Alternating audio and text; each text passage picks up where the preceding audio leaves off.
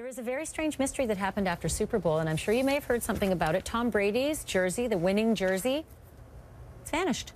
No one knows where that thing is. And that thing is not just a jersey, folks.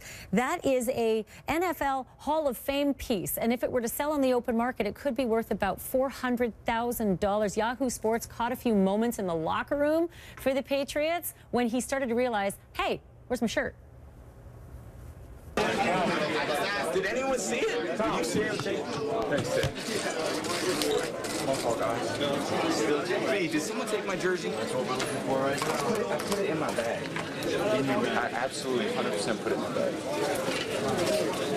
I put it in here. Just let someone at the door check every one of these you. No, but it was just...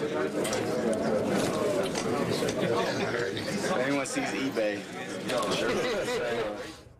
Okay, Danny Cevallos, this is not a small theft. If that thing is worth $400,000, that's really serious if someone took it. That's super duper grand larceny. But you know what? It's about time something bad happens to Tom Oh, Brady. don't my, you say my God, that. the man leads a charmed life. I mean, I, I, I'm, I can't cry a river over that one. My son, my, uh, Ridley, I'm sorry. He's such a Patriots fan. Danny's okay. We'll, we'll, we'll get him down off the ledge. I'm just jealous, like everybody, every other guy no in kidding. America. I'm just Texas jealous. Rangers are in on this, Hunter. Th- This is a, not the this is this baseball is a very Right. big Not this is a guys. very big crime. yes. I mean, if they bring in the Rangers for this.